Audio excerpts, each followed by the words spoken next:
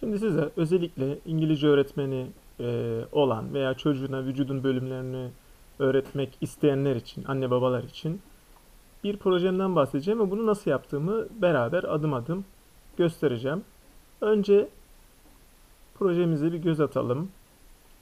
Burada tıkladığımda, ok işaretini tıkladığımda This is my head diyor. Sesi siz duyamıyorsunuz şu an. This is my tail diyor. Oklar büyüyor. This is my foot diyor. Ee, sesi duyamıyorsunuz ama az çok neyle ilgili olduğunu görüntüden anlayabiliyorsunuz.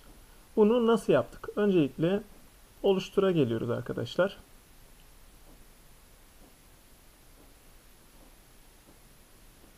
Önce sprite'ımız yani karakterimiz bu olsun yine.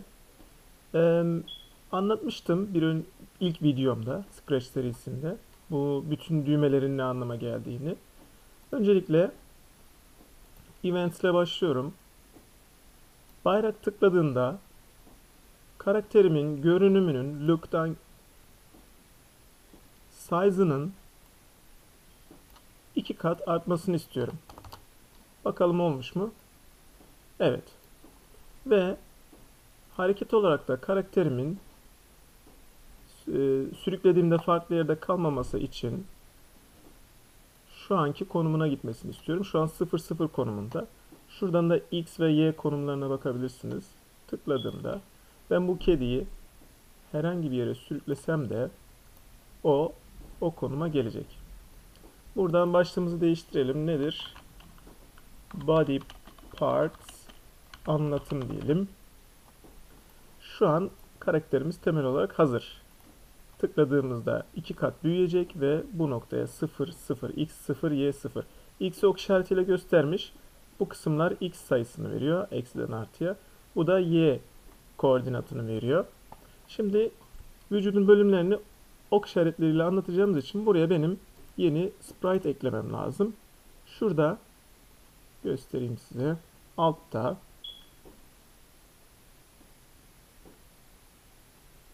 Choose a Sprite'ı seçiyorum. Ok işaretini seçiyorum. Gördüğünüz gibi kedinin yanı sıra bir de ok işaretim oldu. Ama ben ok işaretinin örneğin kuyruğu anlatacaksam burada olmasını istiyorum. Konumda otomatik değişti zaten. Aynı hamleleri bayrak tıklandığında yine e, görünüm olarak %100 olsun tıklandığında büyümesini sağlayacağım bunun. Konumu da şu anki konumu olsun. Zaten konum otomatik buraya yazılmış oluyor sizin koyduğunuz yere. Evet tıklayalım. Oldu mu? Evet. Şu an tıkladığım halde hiçbir şey olmuyor. O zaman ne yapmam lazım? Benim bu sprite tıklandığında when this sprite clicked görünümü iki katına çıkaracağım. Bunu %200 yaparsam bakalım ne olacak. Gördüğünüz gibi iki katına çıktı. Sonra ama öyle kalsın istemiyorum.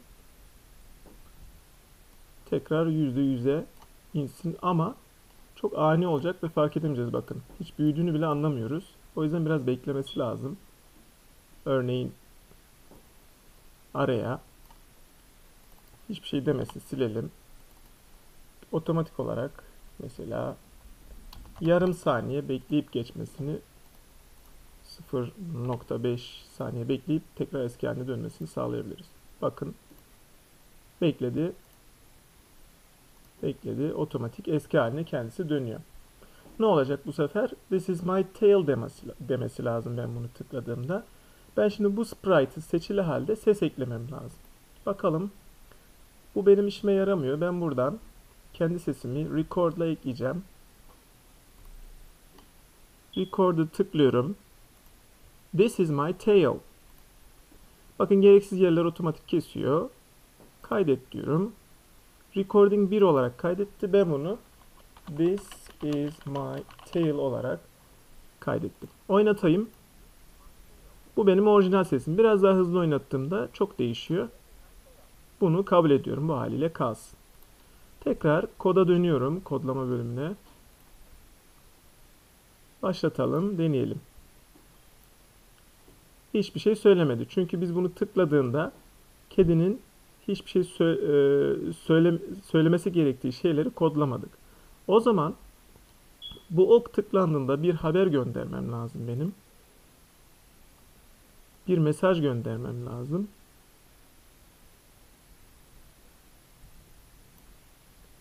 Mesajımın adı da yeni bir mesaj ekleyelim. This is my tail olsun. Bu mesaj gönderdiğinde kediye geliyorum. This is my tail haberi aldığında ses, ses kısmına geldim. Sound'dan This is my az önce kaydettiğim sesi çalmasını istiyorum.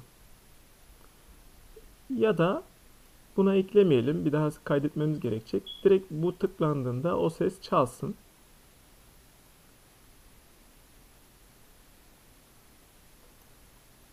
Şunu bir kenarda dursun.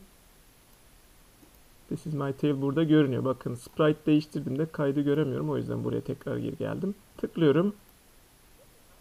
This is my tail dedi. Peki kedimin aynı zamanda konuşmasını istersem ne yapacağım? This is my tail aynı zamanda tıklandığında bu haberi salsın. Kedimiz de bir şey söylesin. Onu görüntülü hali olsun. Yani this is my tail haberini gönderdiğinde ok işaretimiz o da this is my tail desin. 2 saniye olabilir. Evet, baştan başlatıyorum.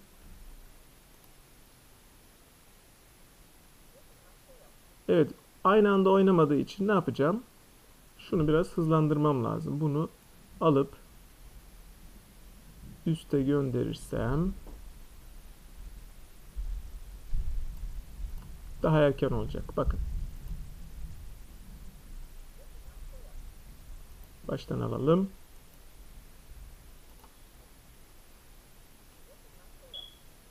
O zaman haber göndermesini e, şey yapalım. Hemen haber göndersin. Geç oldu çünkü. Aynı anda olmasını sağlamaya çalışıyorum.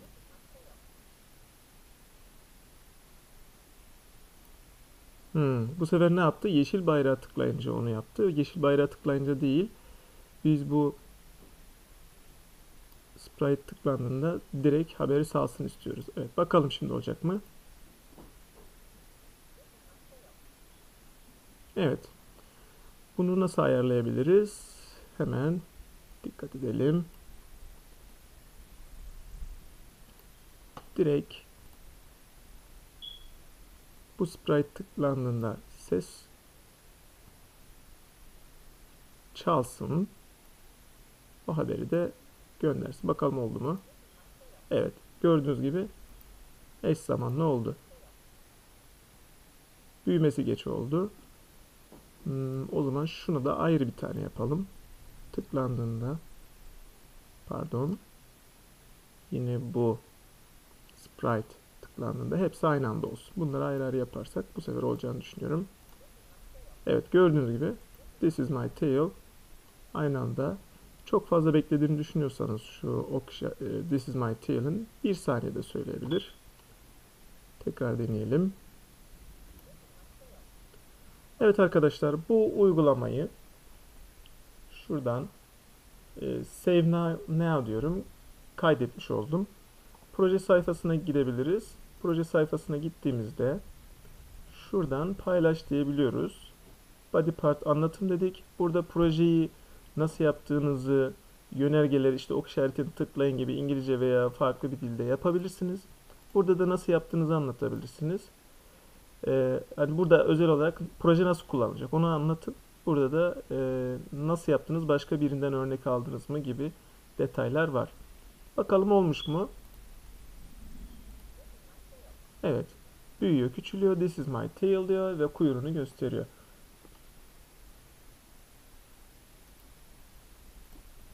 Önceki yaptığımıza döneyim. Detaylı bir şekilde ne hale gelebilir? En son hali nasıl görünmeli hatırlayalım. Burada büyüttük. This is my head. This is my tail.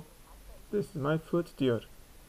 Evet bu şekilde projelerinizi İngilizce öğretmek amacıyla veya çocuğunuza vücudun bölümlerini öğretmek amacıyla kendi sesinizle içeriği kişiselleştirerek e, daha da güzelleş, görselleştirerek kendi çocuğunuzun resmi bile olabilir burada. Zaten bu programın en güzel tarafı kişiselleştirilebilmesi, özelleştirilebilmesi. E, çok zevkli bir şekilde hem kodlama yapıp hem de kendi ürünlerinizi ortaya koyabiliyorsunuz.